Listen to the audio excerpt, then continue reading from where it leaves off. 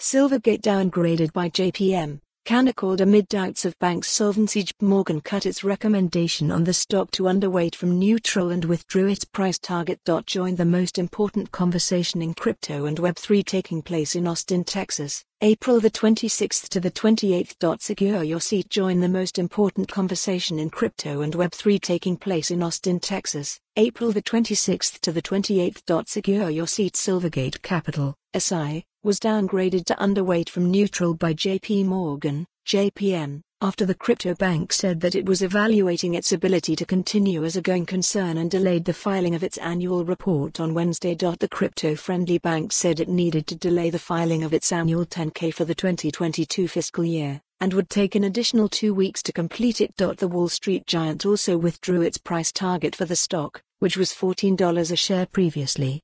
Silvergate shares fell 47% to $7.18 in pre-market trading. Silvergate's rating was also downgraded to hold from buy by Canaccord Genuity. The broker also cut its price target on the stock to $9 from $25. JP Morgan notes that in the recent quarter Silvergate realized a $886 million loss from selling underwater securities, resulting in tangible book value, TBV, being cut more than half to $12.93 with the company having sold additional securities, beyond what was guided, as a loss in January-February. This reflects that the company is facing continued liquidity challenges. JP Morgan analysts led by Steven Alexopoulos wrote. The fallout from the collapse of FTX has shaken the crypto market, with Silvergate follow the URL for the full article for more on this story. Visit the news article link.